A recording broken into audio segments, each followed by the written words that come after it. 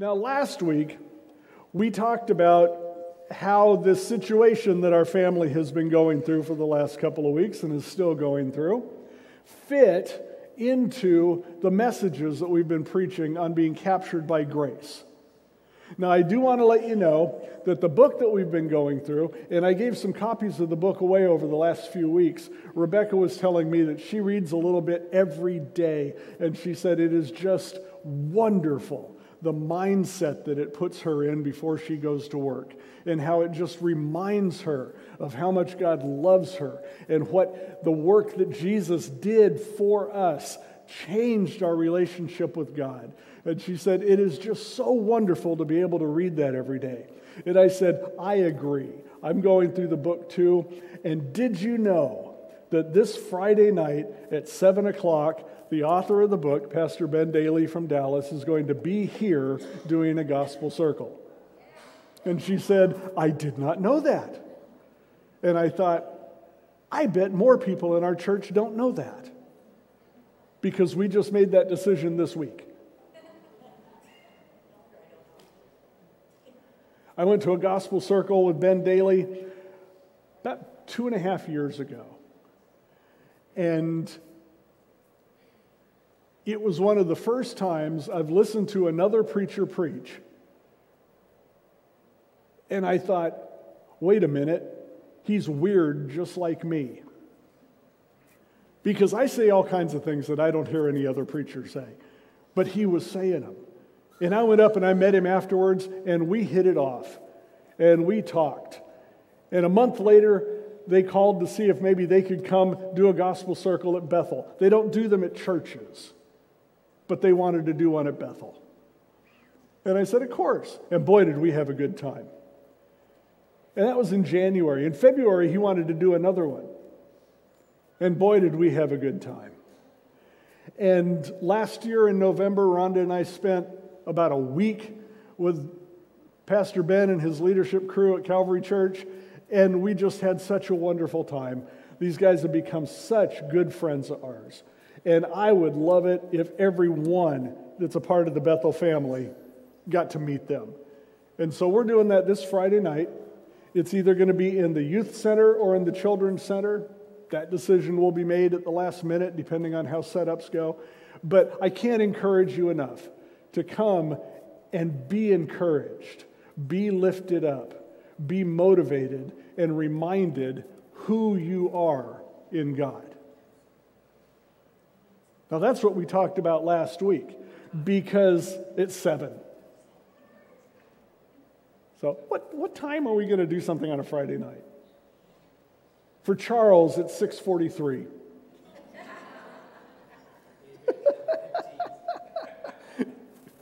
yes, I'm sorry, it's 7 o'clock.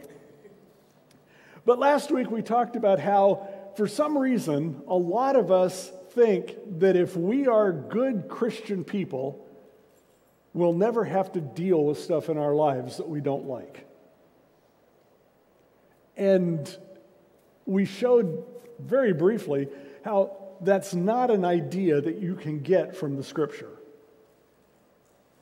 That's not an idea that anyone in the Bible talked about or lived.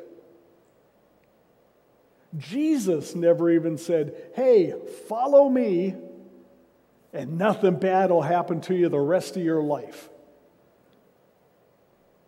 Here's the first inappropriate thing I'm going to say.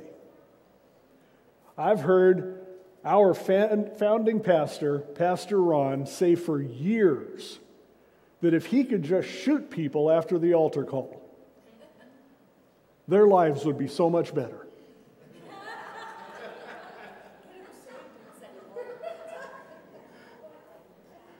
Because the truth is, when you make a public statement that you're going to be following Jesus, our enemy doesn't like that. And he will do whatever he can to stop us. And the Bible's full of that information. We just don't necessarily like it. So the problem is when stuff happens to us that we don't like or that we don't think we should have to deal with, we start to question who we are and who our Father is. And so we've spent a lot of our time around here reminding ourselves who our Father is and who we are to Him.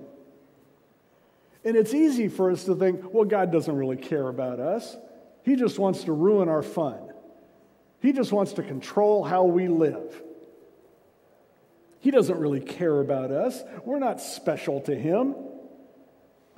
If you were raised in church, you might have been raised with the idea that Christians are the people that God is most irritated with. I was always raised with the idea that Christians were the people that God was really disappointed in. And that's not scriptural. Last week we read in 1 Peter chapter 2. Peter says, starting in verse 9, You are not like that. You are a chosen people. What does chosen mean? You were picked. Go back to fourth grade, standing on the playground, getting ready to play dodgeball. I was always the guy that went to the team that had one last pick. Because I was standing there by myself, nobody wanted me on their team. I always wanted to be the kid that got picked first. Well, guess what? You are chosen people. You are people that God chose. And He chose you because He knows you and He loves you. You are a chosen people. You are royal priests, a holy nation, God's very own possession. As a result, you can show others the goodness of God.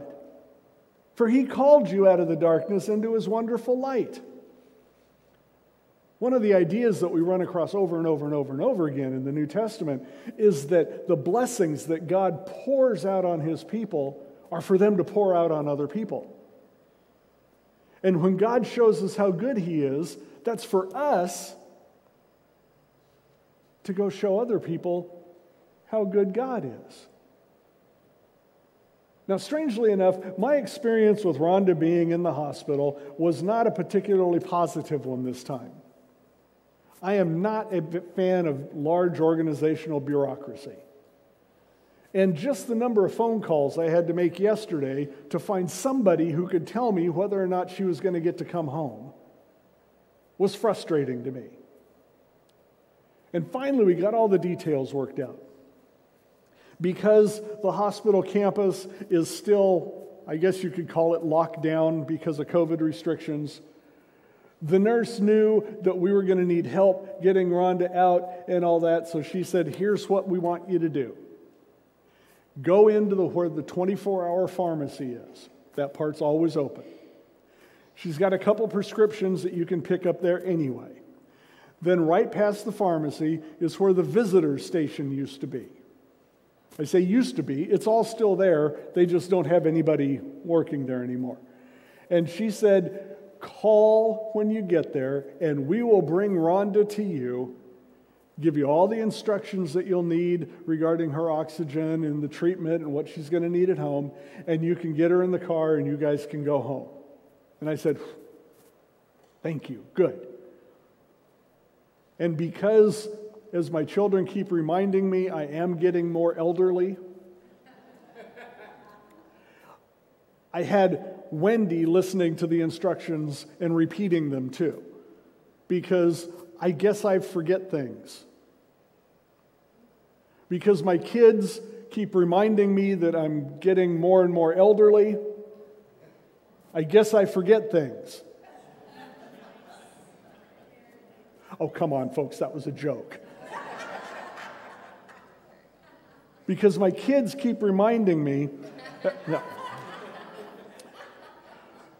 So we talked to each other, made sure we knew what we were doing. We went into the pharmacy. Wendy got her prescriptions. We went out and stood at the visitor center and waited for about 45 minutes.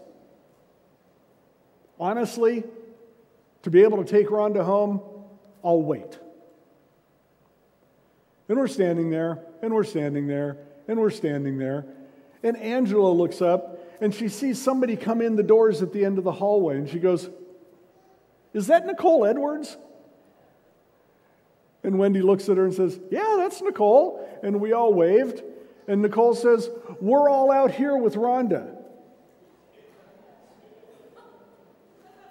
Now, my first question was, Who's we all?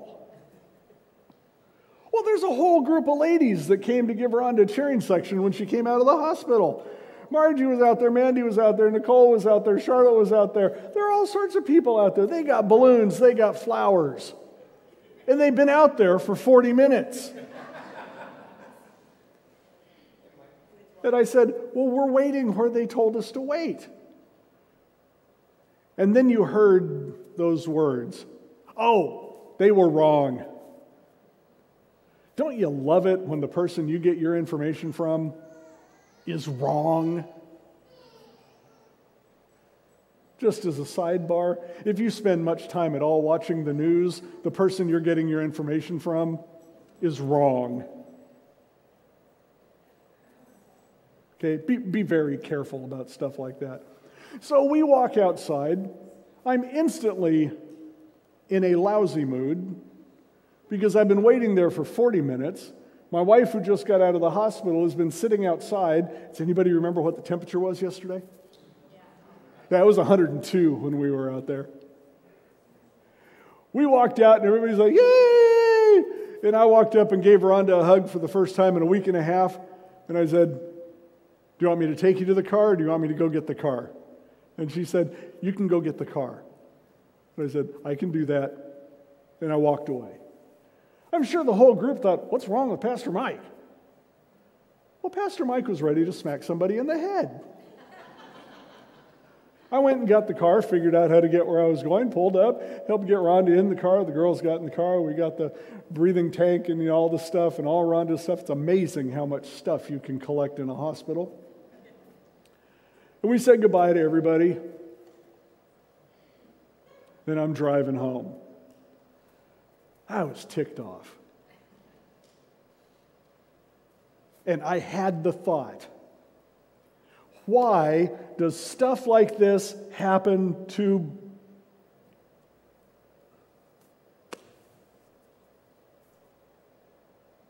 Why shouldn't stuff like that happen to me?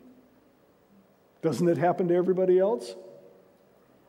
I don't know that there's a person in here who hasn't dealt with some bureaucracy of some kind like that. Why shouldn't it happen to me? It's not going to not happen because I'm one of God's special people. The promise, as we heard over and over again this morning, was when it does happen, God is with me. Somebody was sitting in the car whispering in my shoulder, You're missing the point here. Rhonda's home. Have you ever let something that big and that important irritate you and distract you from something that big and that important? The girls and I are walking around, and we got Rhonda unloaded, and she walked over and sat down on the couch, and I could just feel her decompress. And then all three of the cats walked in and said, Who are you? well, yeah, you can scratch me. Rhonda's home. Was it irritating? Yes. So what? I'll get over it.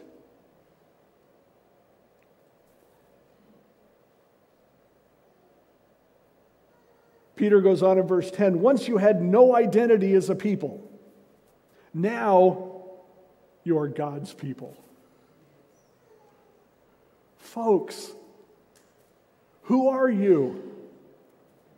You're God's people. Do God's people ever get frustrated? Of course. Then we remind ourselves we're God's people. That is our identity. For some reason, we choose a lot of things in this culture to be our identity. And the only one that matters is whether or not you are God's people. Peter says, once you received no mercy, now you've received God's mercy. Oh, darn. I've received God's mercy. That I was thinking last night, that hospital and those poor people that work at that hospital are absolutely packed full of folks that people don't care about. And there are people there whose lives would change if they were ever to experience God's mercy. Where do they experience God's mercy? From God's people.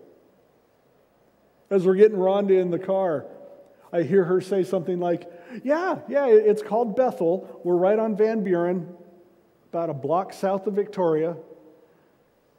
And the nurse says, You know, you guys got a great group of people here. I'm going to come see what you're all about. I'm frustrated and annoyed. I'm in a bad mood. Rhonda's inviting people to church. Which one of us was doing it right?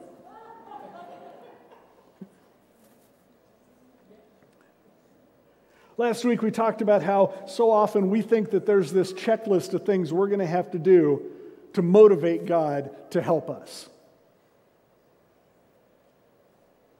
Sometimes I think about how much time and energy I've spent praying, trying to convince God that I'm somebody worthy of his attention. Well, Peter just explained that we are God's special people. We're with God because He chose us. We don't have to convince God that we're worth His attention.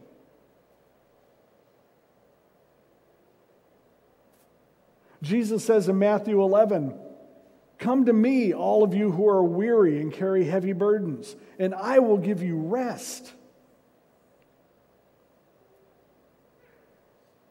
Jesus is not setting up a bunch of hoops for us to jump through to convince him to help.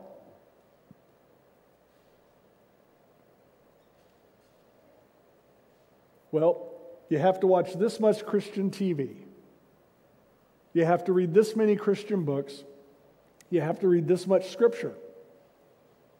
You have to have this many verses painted on the wall of your house you have to drive the right kind of car with the correct bumper sticker.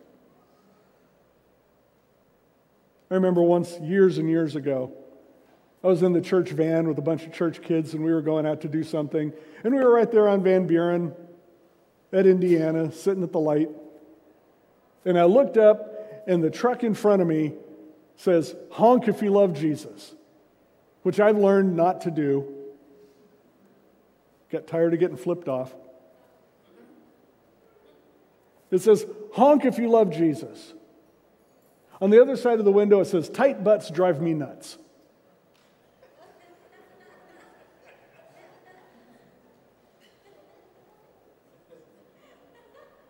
Well, see, that person can only get half of something from God because they're not marking off the checklist. Jesus isn't fond of our checklists. He says, Come to me, all of you who are weary and carry heavy burdens. I will give you rest. Take my yoke upon you. Let me teach you, because I'm humble and gentle at heart. You will find rest for your souls.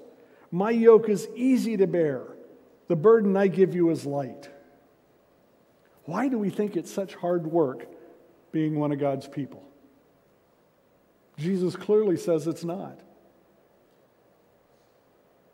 If you find yourself in the position of desiring something from God and trying to figure out what the checklist is that you've got to finish before He'll give it to you, I, I think you're misguided. That's not what Jesus is talking about. So it brings us to an interesting question. I think everybody has always lived in interesting times. It's just as we move on, we all tend to assume that the times we're living in are the worst. I saw a great picture. I love history anyway, but I saw a great picture from a Sacramento newspaper in 1918. And at the top of it, in huge letters, it said, Wear your mask. Because it was in the middle of the Spanish flu epidemic. Now, because I like history, I know that one of the things they found out in 1918 was that not only did masks not help, they caused people harm. But this was the mandate from the government. And people generally will do what they're told if what they're told makes sense. And then I saw a picture of a boxing match that was taking, taking place in San Francisco. I believe it said there were 45,000 people there. And all around the boxing ring were people with their faces covered. And for the first three rows or stuff inside, right next to the ring, were all of the politicians and important people. What'd you say, Charles? Ah, my foot keeps slipping off this chair. With no masks. Does any of that sound familiar? The difference is, a hundred years ago, that made people angry. Nowadays, we don't seem to care enough.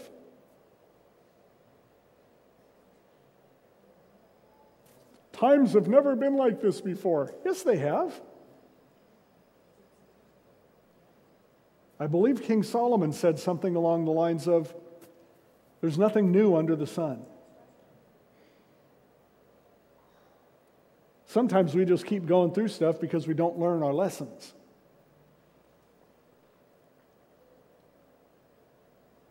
So when things happen,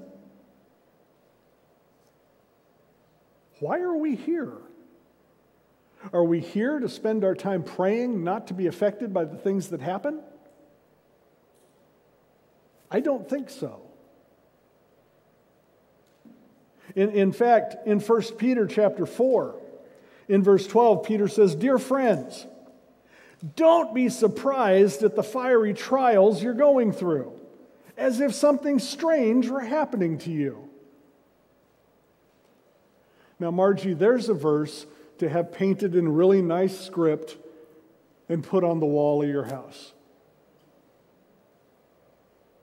Don't be surprised at the stuff you're going through, like it's strange.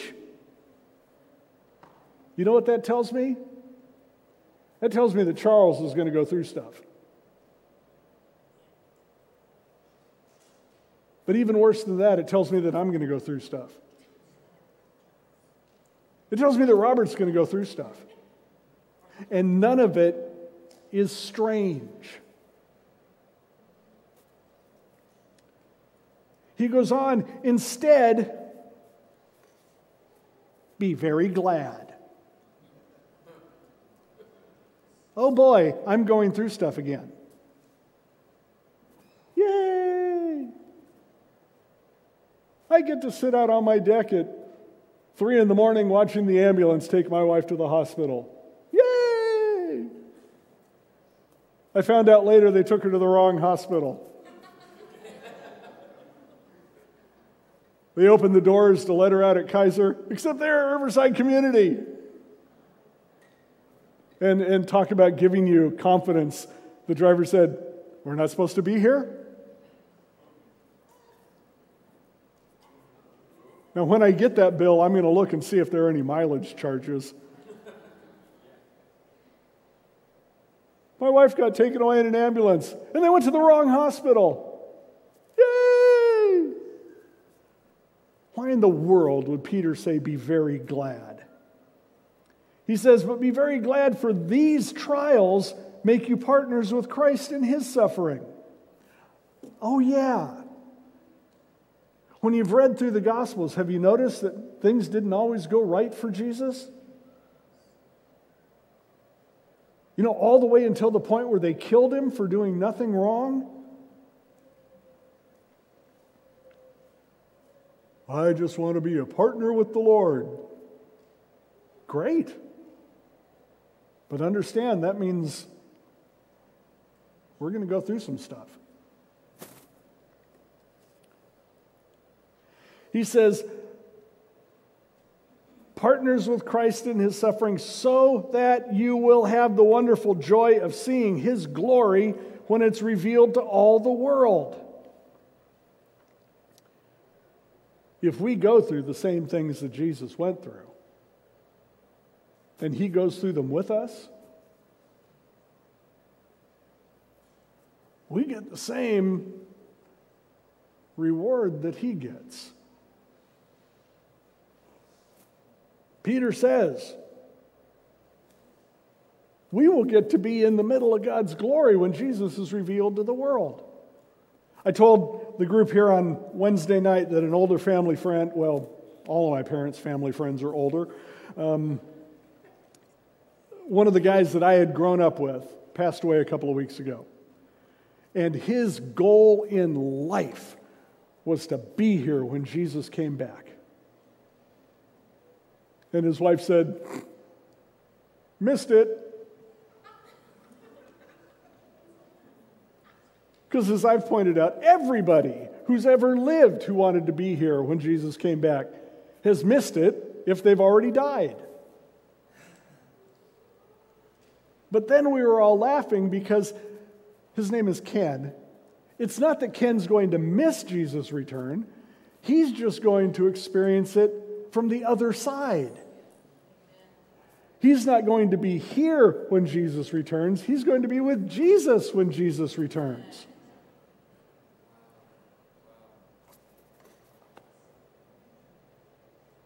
We get to experience that glory. Now, Paul writes to the church that he founded in Philippi about a similar situation. Interestingly enough, involving Paul's struggles and how he wanted his friends and his supporters to react. Now, this passage of Scripture illustrates one of my pet peeves, which is how sometimes we as Christians will pull a verse completely out of context and make it mean something almost opposite to what it means. And this passage of Scripture, I'm, I'm going to show you how we do that. Paul says in chapter 4, verse 4, always be full of joy in the Lord. I say it again, rejoice. Let everyone see that you're considerate in all you do, and remember the Lord is coming soon. See, that's where I didn't quite reach the mark yesterday. I was more annoyed than I was considerate. And it didn't help that I knew it at the time. But God's still working on me. He says, Don't worry about anything. How big is that word anything, by the way? Anything is a big word. Don't worry about anything. Instead, pray about everything. Tell God what you need. Why? God doesn't know what you need? Of course, God knows what you need. We need to finish the sentence. Tell God what you need and thank Him for all He has done. You know, I hate to say it, but sometimes I forget what God has done. And a need presents itself, and my first response is, oh my gosh, how can we possibly meet this need? And then someone has to remind me how every other need in my entire life has been met. It's God.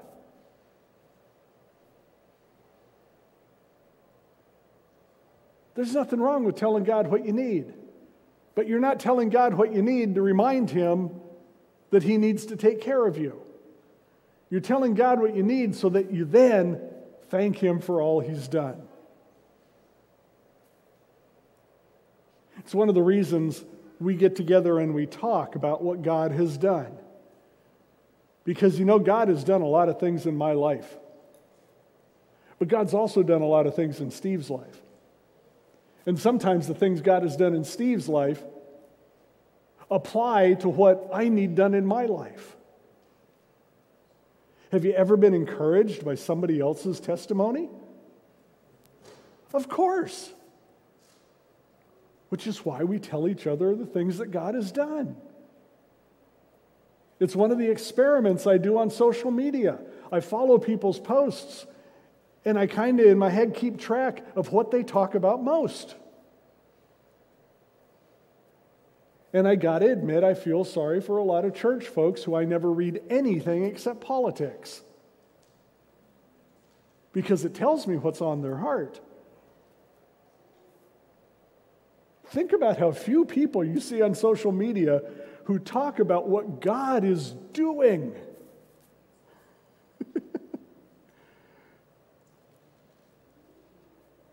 I decided a long time ago I did not want that to be me. Paul goes on thank him for all he's done. Then you will experience God's peace, which exceeds anything we can understand. Don't worry about anything. Tell God what you need. Thank Him for all He's done. Then you will experience God's peace. You know what Paul hasn't mentioned here yet? God meeting your need. You want to let something twist your head around a little bit? Realize that having God's peace is disconnected from getting what you think you need. Having God's peace is a result of your relationship with Him and focusing on the things He has done. Then you will experience God's peace, which exceeds anything we can understand. His peace will guard your hearts and minds as you live in Christ Jesus. Then Paul says in verse 8, and now, dear brothers and sisters, one final thing. Fix your thoughts. Who chooses what we think about? Who chooses what I think about? I do. Who gets to fix my thoughts? I do. Can I choose what you think about? No.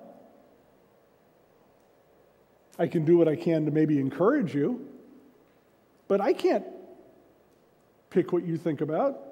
My guess is that every one of you has people that you know that are negative. And no matter what's happening, if you want the negative perspective, you can talk to them. Those are the yeah, but people. Wow, look at that. That's neat. Well, yeah, but. Rhonda's finally home from the hospital. Well, yeah, but she's still on oxygen. She's on oxygen at home.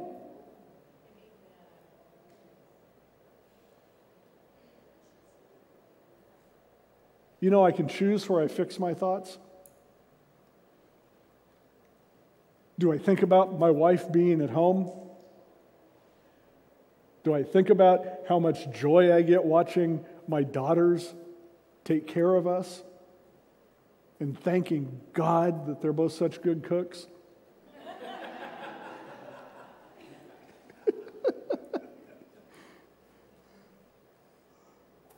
or do I fix my thoughts on how unfair this whole situation is? That's my choice. Paul says, fix your thoughts on what is true, what is honorable, what is right, what is pure, what is lovely and admirable. Think about things that are excellent and worthy of praise. In other words, don't spend a lot of time watching the news because you get almost none of that.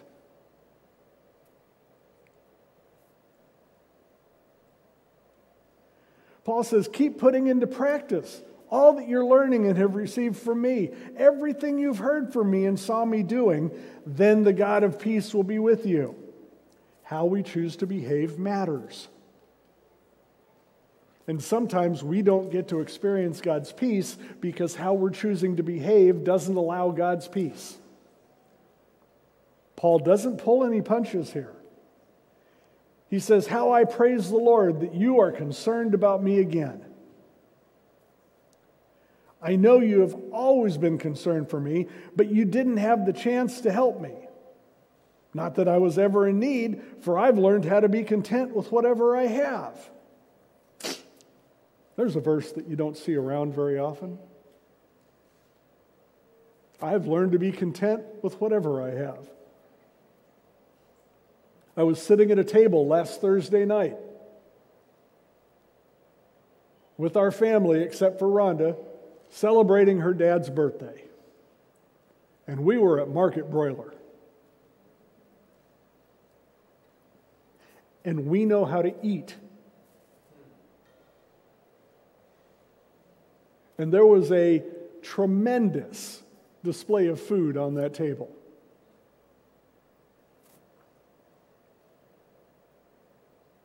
I could be content sitting at a table like that.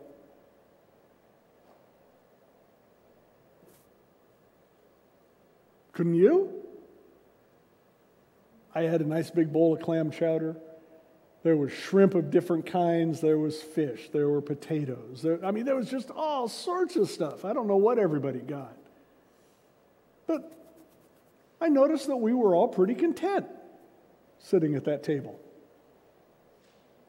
And when they came around and they had the hot fudge sundae for Ron's birthday, and the hot fudge sundae went around the table, we were all content. Paul understands that it's easy to be content when you have everything you might want. But he says, I've learned how to be content even when I have need. I know how to live on almost nothing or with everything.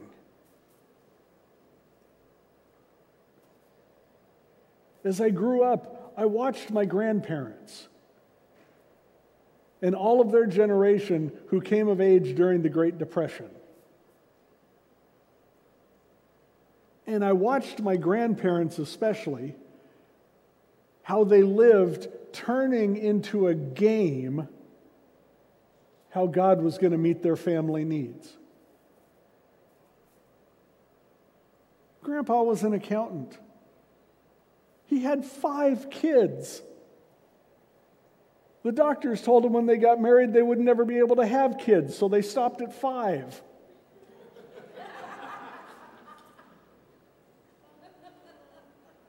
We used to tease Grandpa because he bought new clothes when his clothes wore out.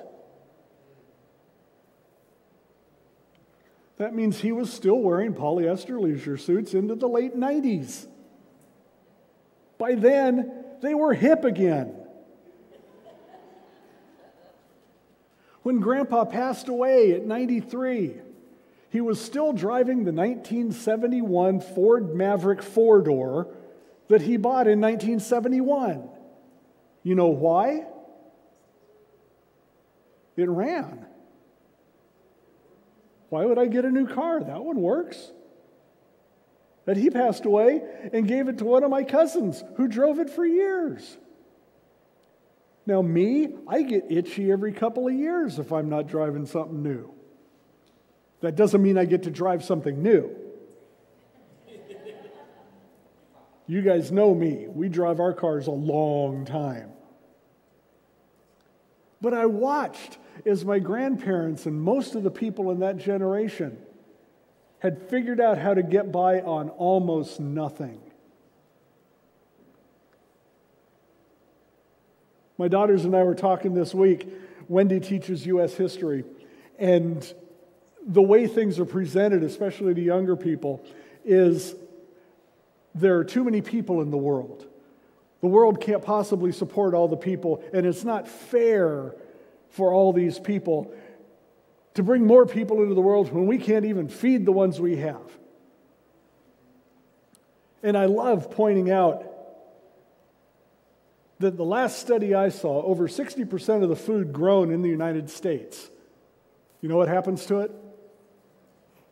It gets thrown away. Because we have literally so much food, we could not possibly eat it all.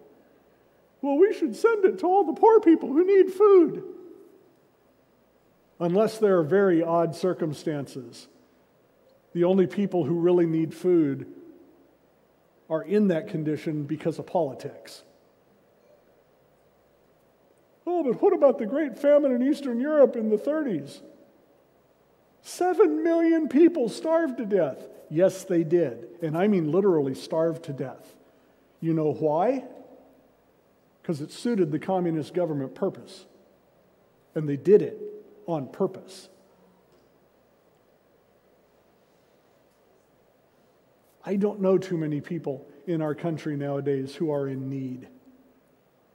Are there things we want? Of course. I think about that when I'm sitting at home and I look at my little itty bitty 70 inch TV and I think, you know, that 85 at Sam's Club looks awful nice. I think that God should recreate the Van Buren Drive In in my, in my den. Just think about some of the stuff we complain about. Paul is saying, I learned how to be content with everything. That's easy. I've learned how to be content with nothing. I've learned the secret of living in every situation, whether it's with a full stomach or an empty stomach, with plenty or little verse that we pull out of context and put on a poster and make us feel good. For I can do everything through Christ who gives me strength.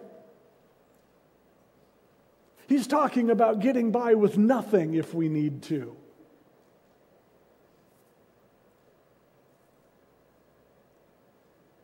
And I hesitate to suggest that sometimes that means that the situations that we are in are not going to go we, the way we like them to go.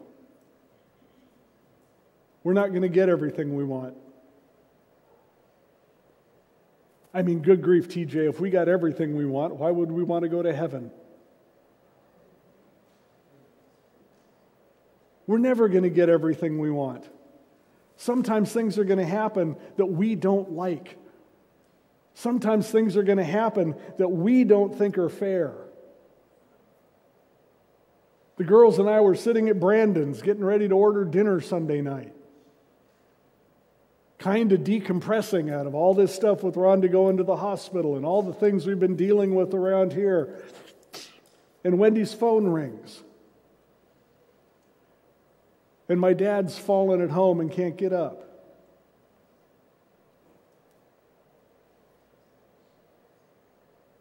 I did not immediately say, I can do all things through Christ who strengthens me. I said, Are you kidding?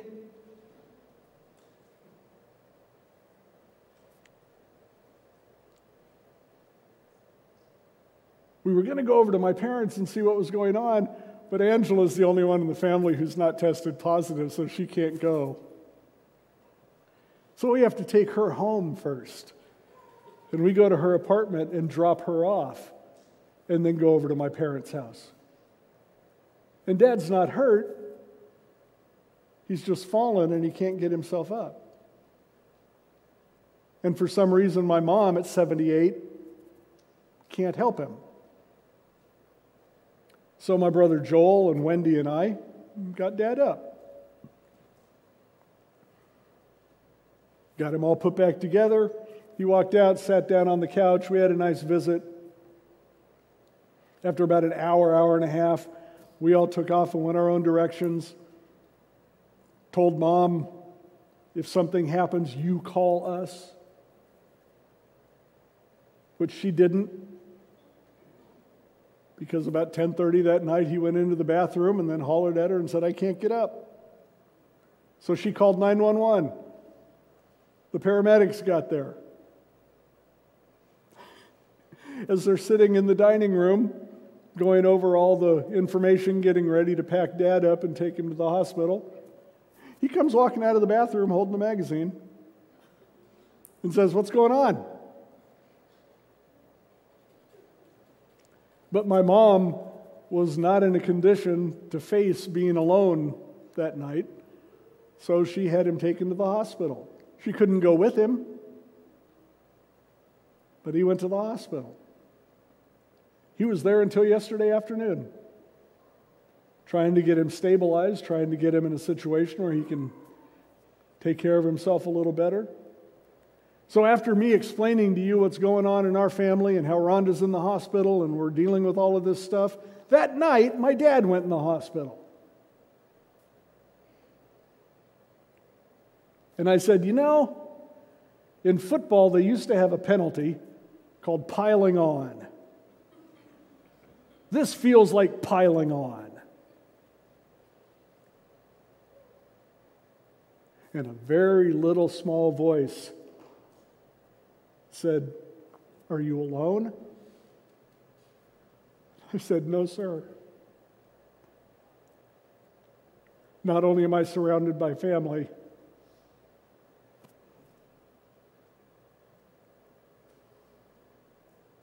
I'm living in God. God is living in me. I have His Son in my heart. I have His Holy Spirit indwelling in me every moment of every day. Do I like what's happening? No. Did God do what's happening? No. Is He going to help us get through what's happening? Absolutely. When word got out about what Rhonda was going through and then what my dad was dealing with, it shouldn't surprise me anymore, but watching my church family jump into action praying, it's just amazing. We are so blessed by being a part of a church family that understands their role in the body of Christ. We had people from all over the country, from all over the world, just messaging us quickly about how they're holding Rhonda and Dave up before the Father. They're praying for us that we'll be strong and that we'll be encouraged.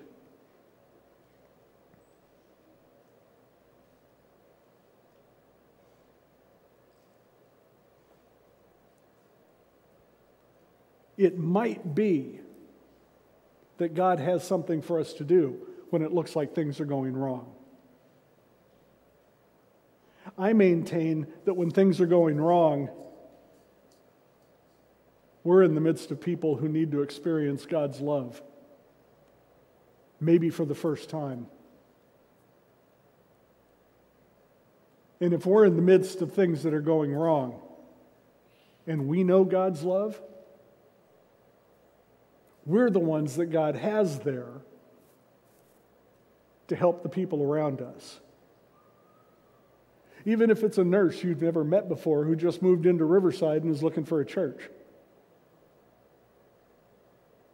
Even if it's somebody who just needs a kind word or maybe a meal or some help. There were people who helped my dad for a week that I will never meet. But boy, am I thankful.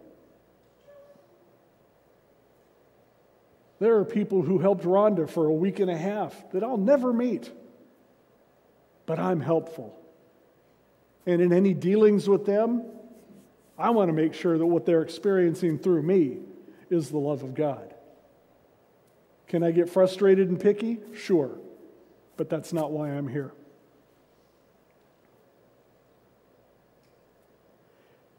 I'll finish up with this. In Hebrews chapter 10, starting in verse 23, the author says, Let us hold tightly without wavering to the hope we affirm, for God can be trusted to keep his promise.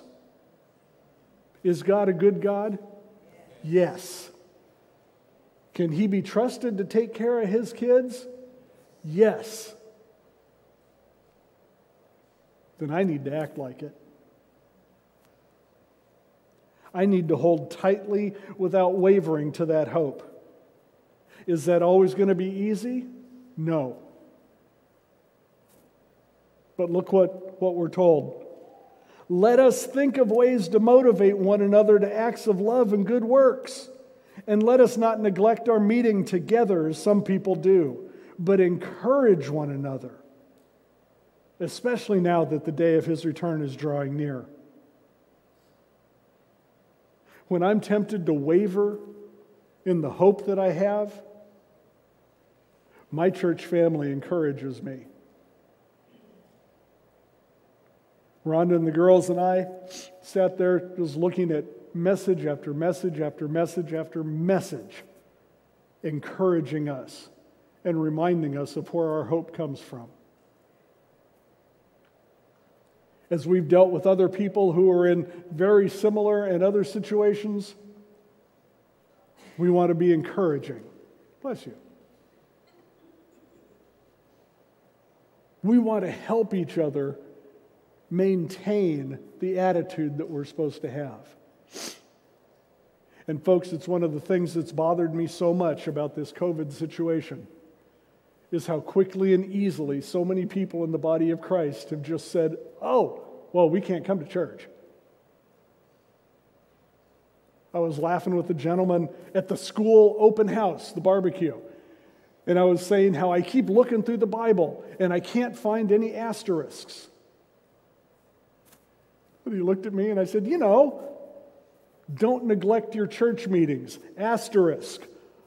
Unless somebody tells you it's not safe. The Bible doesn't say that. I've maintained the whole time if God tells you to keep your butt at home, keep your butt at home. If he didn't, he's already told us not to quit going to church. This is where we need each other. And our community is full of people who need what we have and take for granted. They're not getting the love of God. They're not getting the encouragement. They're not getting the protection that you and I enjoy every day. Could it be that God has us here to do something. Let's pray. Dear Heavenly Father, thank you for today. Father, this is not a week or two or three that I ever would have asked you for. But I didn't need to. You knew it was coming, and you are with me every step of the way. I can feel that. It is the only reason I'm able to keep going and make it through the things you have for me. I thank you for the church family that you've put around me. I thank you that we support each other, we encourage each other, we love each other because we know you and we have experienced your love for us. So, Father, I ask as plainly as you can do it, show us what we're here to do. When someone needs a hand, when someone needs an encouraging word, point them out to us. Remind us that that's why we're here. And when things are not going the way we want, help us see what you're doing in the midst of that so that we can continue to be with you and enjoy your presence. Father, I thank you for my church family and whatever you have for us this week. I thank you that your blessing and your protection surround us and you'll bring us back safely next time. And pray all this in Jesus' wonderful name. Amen.